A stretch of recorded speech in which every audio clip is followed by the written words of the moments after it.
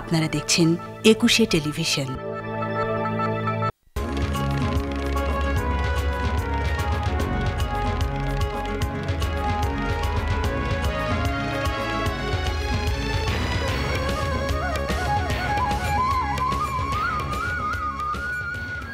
আমন্ত্রণ, একুশের নিয়মিত আয়োজন দেশজুড়ে অনুষ্ঠানে। আশা করছি সবাই ভালো আছেন। দেশের নানা প্রান্তের খবর নিয়ে আপনাদের সাথে আছি আমি জাকিয়া তাজিন। শুরুতেই জানিয়ে দিচ্ছি কি কি থাকছে আজকের দেশজুড়ে আয়োজনে। বরগুনার আদর্শ গ্রাম চালিতাতলা নিয়ে থাকছে এবারের মূল প্রতিবেদন। আমার অধিকারে থাকছে রংপুরের নারী শ্রমিকদের মজুরি বৈষম্যের চিত্র। আমার গ্রামে থাকছে শেরপুরের গড়জরিপা গ্রাম। জীবন জীবিকায় দেখব বাগেরহাটের পানের হাটকে ঘিরে গড়ে ওঠা পেশাজীবীদের। চলতি পথে থামব সুনামগঞ্জ, দেখব সাপের খেলা। আনন্দ আসরে দেখব পাবনার দেবর ভাবির গান। শুরু করছি মূল প্রতিবেদন দিয়ে। যৌতুকবিহীন বাল্যবিবাহমুক্ত একটি গ্রাম বরগুনার চালিতাতলা। এলাকাবাসীর সম্মিলিত চেষ্টায় বরগুনার চালিতাতলা আজ আদর্শ গ্রাম। এবার আপনাদের নিয়ে যাব বরগুনার সেই আদর্শ গ্রামে।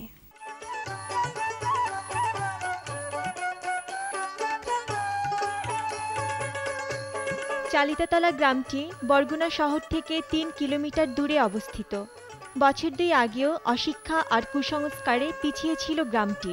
গ্রামের মানুষের ইচ্ছা আর সচেতনতায় বৈপ্লবিক পরিবর্তন ঘটে। গ্রামটি এখন একটি মডেল গ্রামে পরিণত হয়েছে। আমাদের গ্রামটা মডেল এই কারণেই, যেখানে জাগনারীর যে আমাদের কার্যক্রম শুরু হয়েছে। নারী অধিকারের ভিতরে এখানে প্রথমেই বাল্য বিবাহ, যৌতুক নিয়ে বিবাহ নিরোধ। আর হইল আপনার এখানে মহিলাদেরকে স্বাবলম্বী করা। বঙ্গোপসাগরের কুল ঘেঁষে জেগে ওঠা একটি ভূখণ্ডের মধ্যে আসলে বরগুনা অবস্থিত। এটা এই জেলাটা খুব অবহেলিত এবং অসচেতন। বিশেষ করে এখানে নারীরা কোনো আইবৃদ্ধিমূলক কাজ এবং স্বাধীনভাবে চলাফেরা, এরকম কোনো আসলে পরিবেশ বরগুনাতে ছিল না। যেটির, যে কারণেই আসলে জাগরনারীর সৃষ্টি। আমার স্বামী যৌতুকের জন্য খুব মারপিট করছে। জাগনারি প্রকল্পে আমি নালিশ করছি। নালিশের পর তাদের নারী ও নারী কল্পে ই দেশে উকিলের কাছে গেছে। উকিলের কাছে মামলা বসাইছে, তাদের নিজের খরচায়। মামলা বসাইয়া মামলা যখন বসাইছে, তারপর আমার স্বামী তার কাছে গেছে। তার কাছে যাইয়া সালিশ মানছে। সালিশ মানার পর জাগনারি গণ্যমান্য দর্জন লইয়া সালিশি করিয়া আমারে মিলাই দিছে। মিলিয়ানে আমার এখন সুখ শান্তি হয়েছে খুব। আমরা শুরুতে একটা এটার সার্ভে করেছিলাম।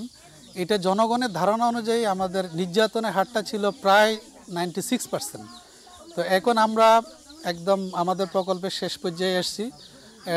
এখনও আমরা ফাইনাল সার্ভেটা করি নাই।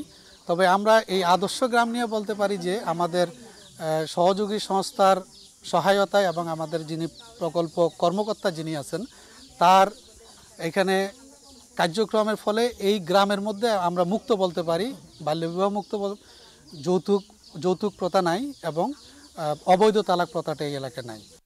এই গ্রামের সমস্ত ছাত্রছাত্রী সবাই বিদ্যালয়ে আসে এবং এই যে নারী জাগরণের বিভিন্ন রকমের সভা, সমিতি এবং মিটিং হইতেছে। যার পরিপ্রেক্ষিতে ছাত্র অভিভাবক যারা আছে, তারা সবাই সচেতন। স্কুলে যে প্রোগ্রামগুলো করেছি, তার মধ্যে উল্লেখযোগ্য হলো অভিভাবক, ছাত্র, শিক্ষকদের নিয়ে সমন্বয়ে মিটিং আমরা করি। তারপরে আপনার যৌতুক প্রতিরোধে আমরা, বাল্যবিবাহ প্রতিরোধে নাটক শো করি।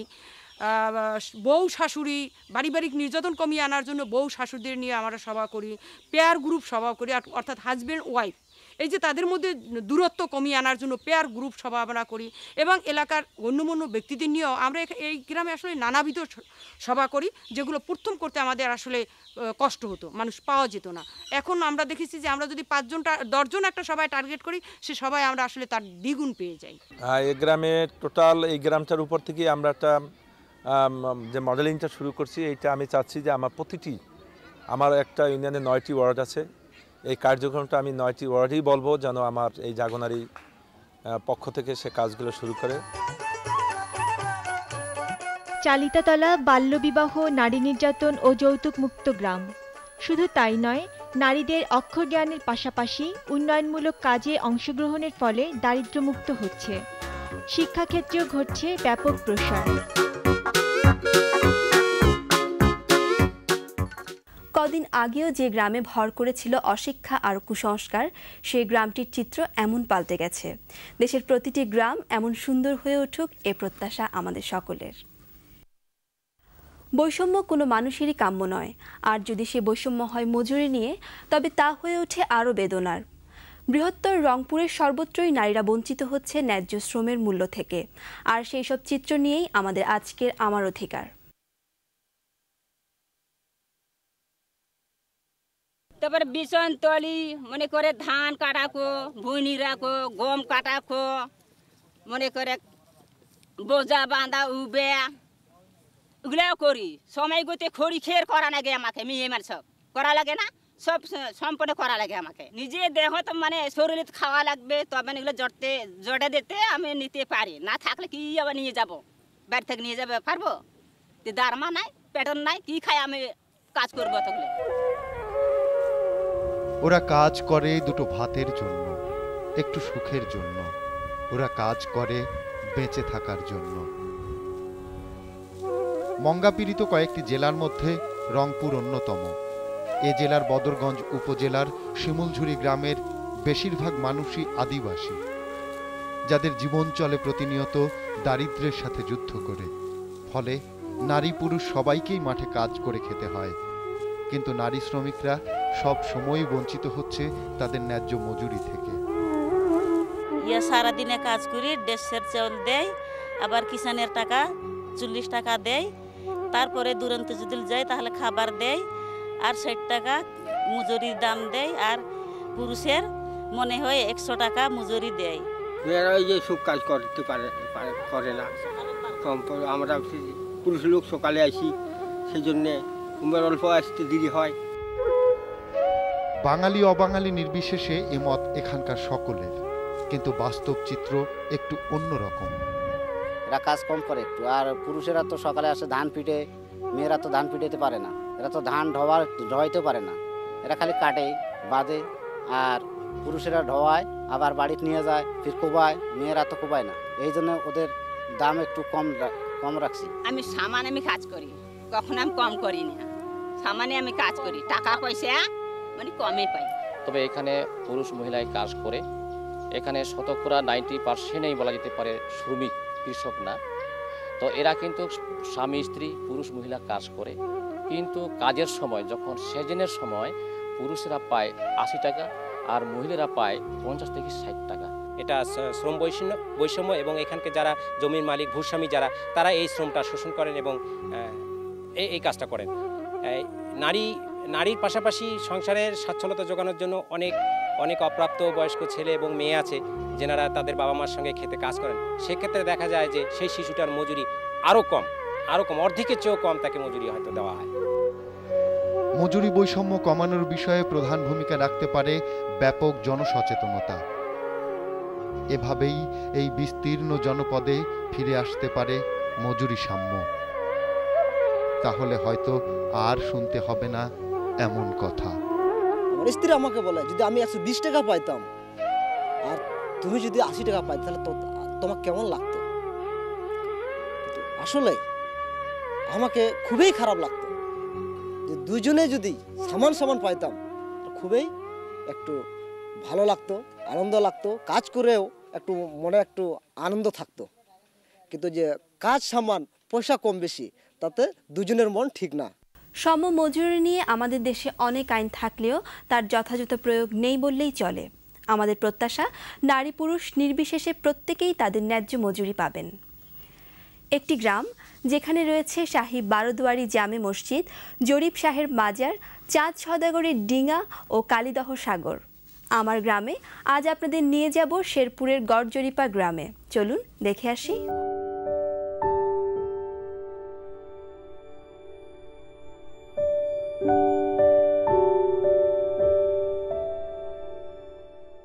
আঁকাবাঁকা মেঠো পথ আর গাছের ছায় ঘেরা শুনশান নীরব মনোরম পরিবেশ বেষ্টিত গর্জরিপা গ্রাম। শেরপুর জেলার সদর উপজেলায় অবস্থিত এই গ্রামটির নামকরণ হয়েছে জরিফ শাহ নামের একজন পীরের নামের ভিত্তিতে। উর্বর মাটি আর ভৌগোলিক অবস্থানগত কারণে এ এলাকায় তুলনামূলকভাবে ধানের ফলন বেশি। গরজরিপা গ্রামে দশ হাজার লোকের বাস। এ এলাকায় সত্তর ভাগ লোকই শিক্ষিত। এখানে তিনটি প্রাথমিক স্কুল দুটি মাদ্রাসা, একটি পোস্ট অফিস এবং দুটি বাজার রয়েছে। কালিদাহ সাগর নামে একটি অপূর্ব বিল গ্রামটিকে ঘিরে রেখেছে। এই বিলের উত্তর পূর্বাংশে নৌকার মতো একটি ঢিবি রয়েছে। জনশ্রুতি আছে এটি চাঁদ সওদাগরের ডিঙ্গি, যা বন্যা প্লাবনে কখনো ডুবে যায় না। প্রাকৃতিক সৌন্দর্যের পাশাপাশি গর্জরিপায় রয়েছে মোগল আমলে নির্মিত বারোদুয়ারি জামে মসজিদ। প্রতিটি গ্রামই আমাদের দেশের প্রতিচ্ছবি। সবুজ শ্যামল গড় জরিপার মতো প্রায় প্রতিটি গ্রামেই রয়েছে নিজস্ব ইতিহাস ও ঐতিহ্য, যা আমাদের গর্ব। সময় হলো ছোট্ট একটা বিরতির। বিরতির পরেই ফিরে আসছি আরও নতুন নতুন বিষয় নিয়ে।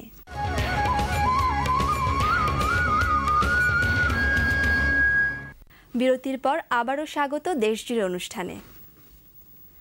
বাগেরহাটের পানের কদর রয়েছে সারা দেশে। পান চাষ থেকে শুরু করে প্রক্রিয়াজাতকরণকে কেন্দ্র করে গড়ে উঠেছে একদল পেশাজীবী। এবার আপনাদের নিয়ে যাব বাগেরহাট। দেখব ভিন্ন এই পেশাজীবীদের জীবনচিত্র।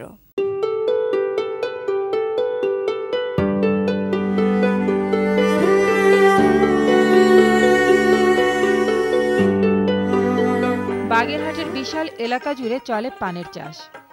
সপ্তাহে নির্ধারিত দিনে বসে যাত্রাপুরের এই পানের হাট। প্রতি হাটে কয়েক লাখ টাকার পান বেচা কেনা হয়। পান চাষ থেকে শুরু করে পানের প্রক্রিয়াজাতকরণকে কেন্দ্র করে গড়ে উঠেছে একদল পেশাজীবী। আমি এই ছত্রিশ বছর এই কাজ করতেছি। এর থেকে আমাদের যে জীবিকা নির্বাহ হয়, আমি একা না। আমার এই হাটের ভিতর অন্তত পঞ্চাশ থেকে ষাট জন মানুষ আছে। আমরা এই পানের কাজ করি। এর ভিতর যে খারাপ পান আছে, সেইটা ফেলে দিয়ে ভালো ভান্ডার রেখে দিই। তারপরে ঝুড়ি বান্ধি ঝুড়ি বান্ধার পরে আমাদের মহাজন যে বেতন দেয় তাতে আমাদের দেখা যাচ্ছে দুই হাটে মিলে হয়তো তিনশো বা চারশো টাকা হচ্ছে। এই জন্য আমরা এই জীবিকা নির্বাহ করি। পান এখান থেকে শ্বাস করে যানরা দেয় যেমন পাল্টাই দেয় না। এনাদের অবদান বেশি। এনারা যদি পানগুলো আমাদের ঠিকমতো সাজগাছ করে দেয় তাদের আমরা তাতে- তাদের দ্বারা উপকৃত হই। এই পান চাষের জন্য জমি তৈরি পরিচর্যা থেকে শুরু করে হাটে পাঠানোর উপযোগী করে ডালায় সাজানো পর্যন্ত অক্লান্ত পরিশ্রম যারা করছেন, তাদেরকে বলা হয় পাটাইল বা পাইটেল। অনেক সময় পান দেখা যাচ্ছে পচা থাকে সেই পানটা যদি বাইছে এগুলো গোছ গাছ করে না দেওয়া হয়, তাহলে বাজারে বিক্রি করতে সমস্যা হয়। এবং এই সমস্যাটা যাতে না হয় যাতে আমরা বরস থেকে কেটে আনি বারান্দায় আইনে এখানে পান গুছি। গুছে, গোছ করে আমরা বাজারজাত করি। এবং এ থেকে আমাদের বিভিন্ন লোকজন কাজ করে এবং তাদের সবারই সংসার চলে। আমি এই বরাজে কাজ করি, আমার যে, আমার আরও যে ভাইরা আছে তারা বরাজে কাজ করে, সবাই বরাজে কাজ করে, কেউ কাজ করে দিন চুক্তি, কেউ কাজ করে সপ্তাহে এবং কেউ কাজ করে মাস চুক্তি। প্রতিদিন মাইনে আসে কারোর সত্তর টাকা, কারোর আশি টাকা, কারোর একশো টাকা, একশো বিশ টাকা। এদের এ থেকে আমাদের এরা বাছাই করা ভালো মানের পান ডালায় থরে থরে সাজিয়ে ব্যাপারীর বাড়ি থেকে হাটে পাঠান। এই পান হাটে পৌঁছলে কাজ হয় আরেক পেশাজীবী দল পাল্টাইদারের হাটের ব্যাপারীর পানের কদর বাড়াতে প্রথমে ডালায় কলাপাতা দিয়ে এর ওপর একে একে কয়েক স্তরে সাজানো হয় পানের ডালি। সব শেষে আবারও কলাপাতায় ঢেকে দেয়া হয় পানের ডালা। এতে করে দূরের যাত্রায় পাঠানো পান কয়েক সপ্তাহ পর্যন্ত সংরক্ষণ করা যায় পানের প্রক্রিয়াজাতকরণে পাল্টাইদারদের বিকল্প নেই। বেঁচে থাকার তাগিদে এই মানুষগুলো যুগ যুগ ধরে আজও এই পেশাকে টিকিয়ে রেখেছে। সুনামগঞ্জে ঘুরতে ঘুরতে দেশজুড়ে দলের সঙ্গে দেখা হয়েছিল এক সাপুরের। এবার আপনাদের নিয়ে যাব সুনামগঞ্জে দেখাবো সাপের খেলা। খা। বন্য হইল কালো কিসা হয়ে ডল শিল রিল কাই রে। এরে তাজা মারে, আরে বজালো রে রে বিদিরি কি? ও যো যো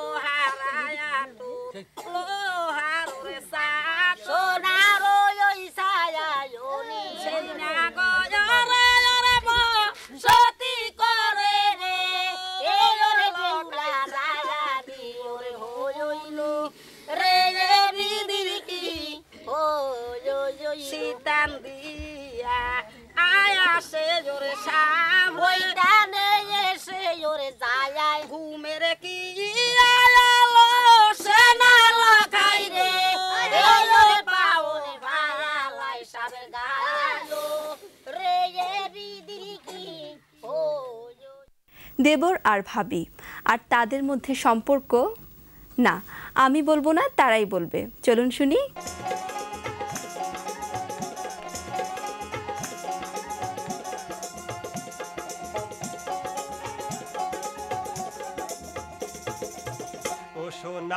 সোনার ভাবি জান রে। আম খাওয়াইলাম রসে রসে কাঁঠাল খাওয়াইলাম ঘষে।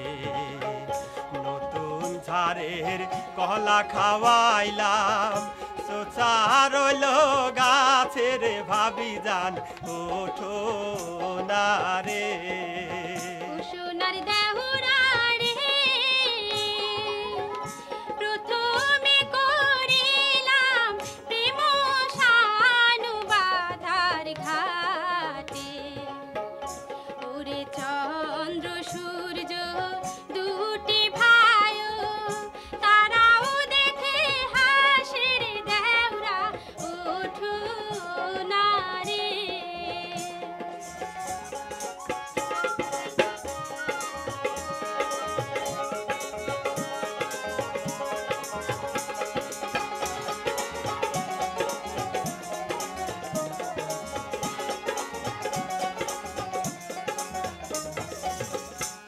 ও সোনার ভাবি জান রে।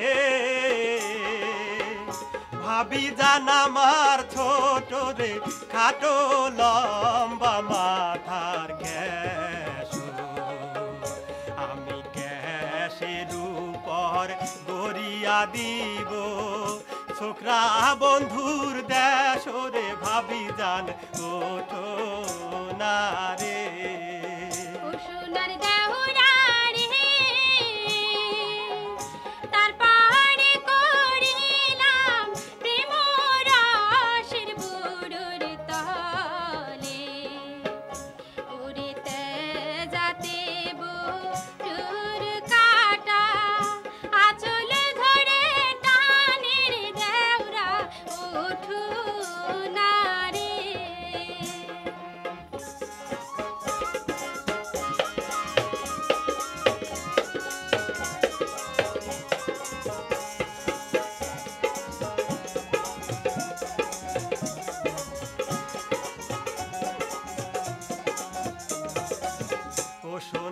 ভাবি জান রে।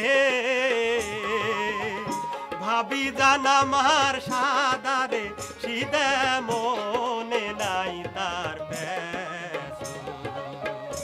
আমি ভাবির লাইগা কি নাই আনব, গজমতির মালা রে, ভাবি জান ওঠো না রে।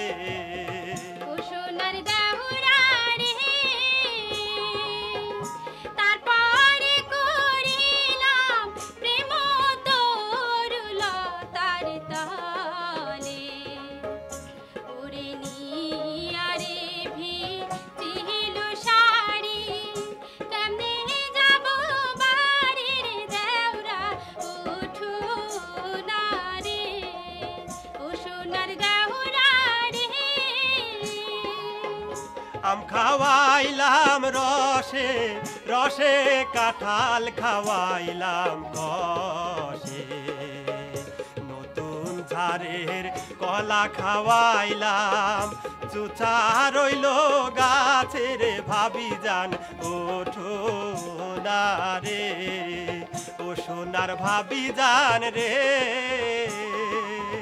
ও সোনার দেহুরা ও সোনার ভাবি যান রে। ও সোনার দেহুরা রে। ও সোনার ভাবি জান রে। দেবরার ভাবির সম্পর্ক সবসময়ই মধুর হয়। আমরা আমাদের অনুষ্ঠানের প্রায় শেষ প্রান্তে চলে এসেছি। আমাদের অনুষ্ঠানটি আপনাদের কেমন লাগল তা আমাদের লিখে জানান। আমাদের কাছে লিখবার ঠিকানা দেশ জুড়ে একুশে টেলিভিশন, দশ কারওয়ান বাজার, ঢাকা এক দুই এক পাঁচ। ইমেল দেশ জুড়ে অ্যাট একুশে ড্যাশ টিভি ডট কম দেশ জুড়ে অনুষ্ঠানের আগামী পর্ব দেখার আমন্ত্রণ জানিয়ে শেষ করছি আজকের দেশ জুড়ে সবাই ভালো থাকুন, সুস্থ থাকুন, সুন্দর থাকুন সবসময়। শুভেচ্ছা সবাইকে।